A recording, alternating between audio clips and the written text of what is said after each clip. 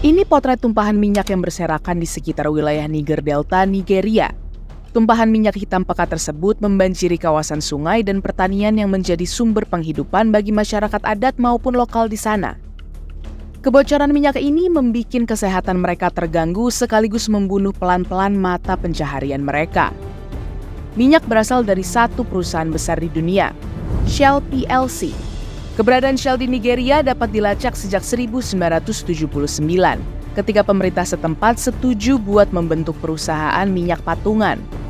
Namun efek dari kehadiran Shell tidak selamanya menguntungkan dan Shell bukan satu-satunya kasus yang terjadi.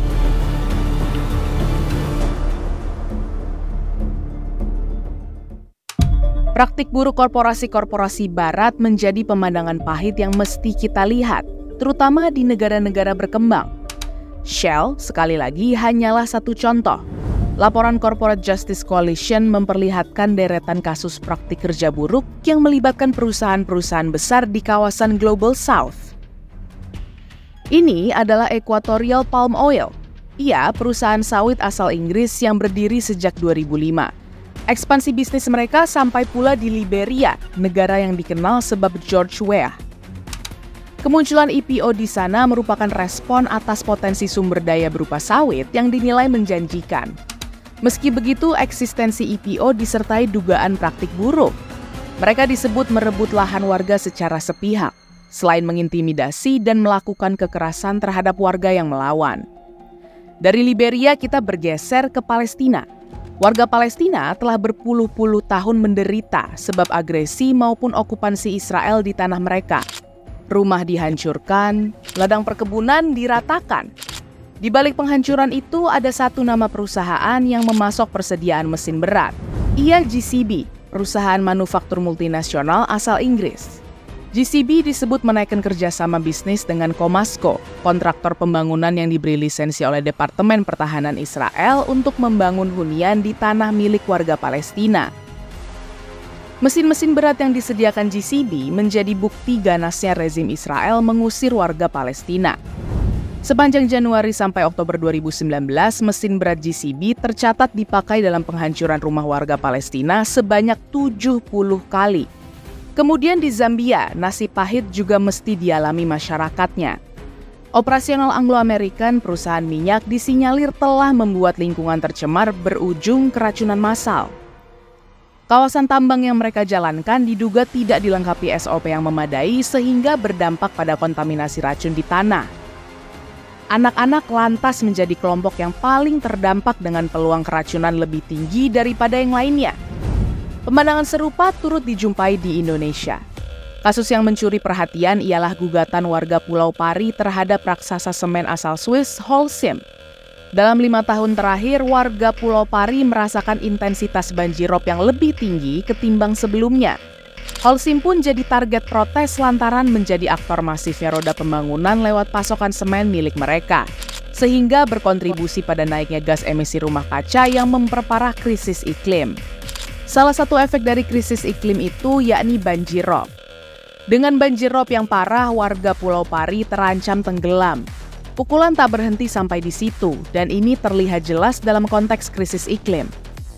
Riset yang dipublikasikan Action Aid, organisasi sipil asal Inggris yang berfokus dengan isu kemiskinan dan ketidakadilan menyebut bahwa bank-bank besar dari kawasan Global North mendanai secara masif proyek-proyek maupun bisnis energi fosil di negara-negara berkembang. Jumlahnya menyentuh 3,2 triliun US dollar sejak perjanjian Paris, kesepakatan antar negara untuk merespon krisis iklim ditandatangani pada 2015. Bank-bank besar ini dibilang justru memberi pendanaan 20 kali lipat lebih besar untuk energi fosil ketimbang mitigasi krisis iklim kepada negara-negara yang rentan terdampak.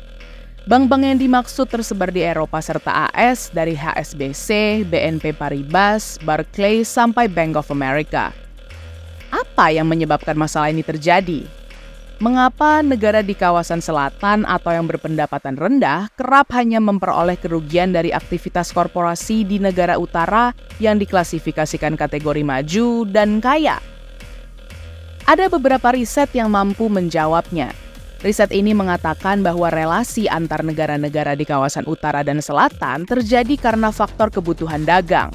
Segala jenis sumber daya untuk pembuatan barang-barang yang diperdagangkan berasal dari kawasan selatan. Data yang dihimpun selama 1990 sampai 2015 dalam riset ini menegaskan hampir semua negara di kawasan selatan berperan sebagai eksportir sumber daya tersebut, termasuk untuk barang-barang berteknologi tinggi. Persoalannya, relasi itu tidak berlangsung setara dengan kata lain, negara-negara di selatan lebih banyak memperoleh mudarat ketimbang keuntungan.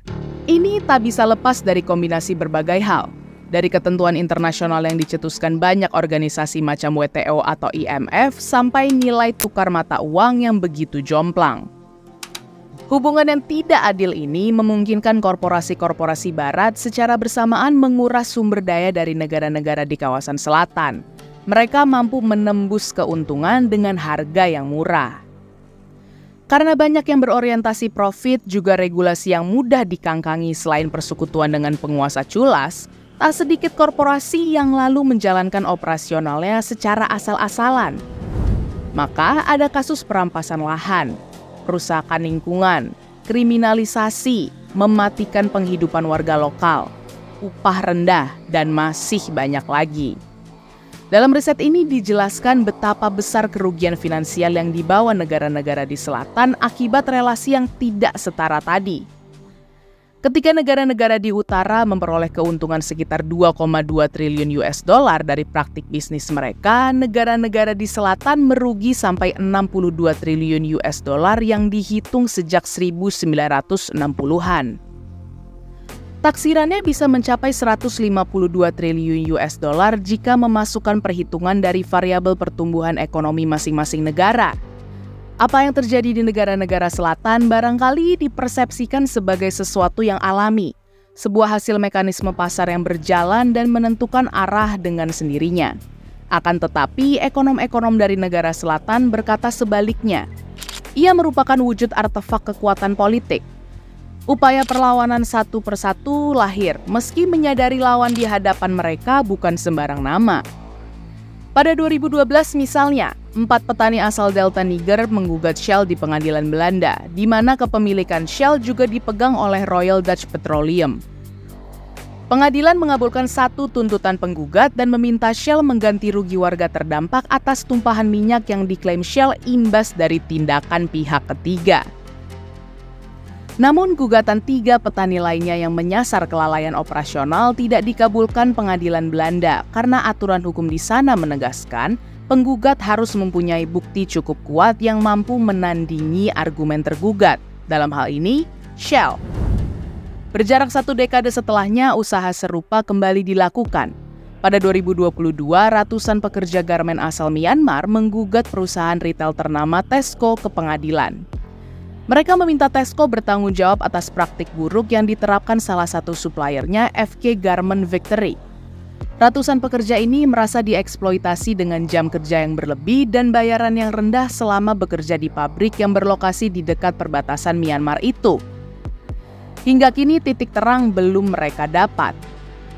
Inisiasi untuk mencegah praktik buruk yang dilakukan korporasi di negara-negara operasional mulai digaungkan.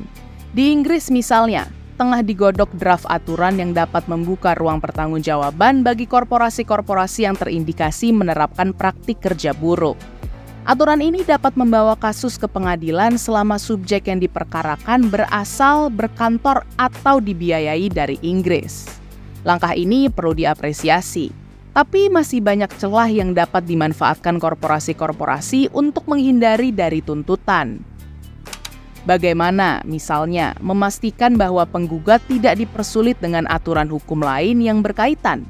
Lalu, seperti apa sinkronisasi dengan hukum yang diterapkan di negara tempat tergugat beroperasi? Batasan-batasan itu memerlukan kejelasan agar upaya hukum yang ditempuh benar-benar dapat memberi keadilan.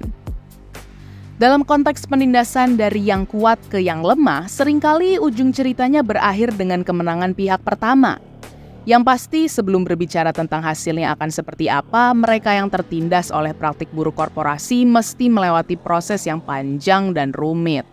Di bawah bendera imperialisme baru yang hanya berganti bentuk dan aktor dari para pendahulunya.